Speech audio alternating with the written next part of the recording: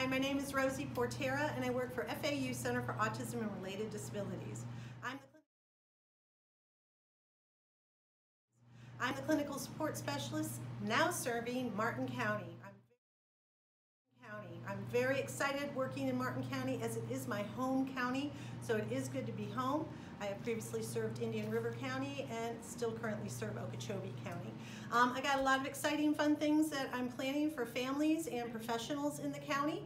Uh, some wonderful trainings, very targeted, helping teachers set up their classroom, develop their schedules, how to create uh, really robust language lessons so that we can have the most impact with their kids, um, some family trainings on how to use visuals at home. So please reach out to me and let me know that you're interested because I want to meet you. My phone number is 772 873 3422.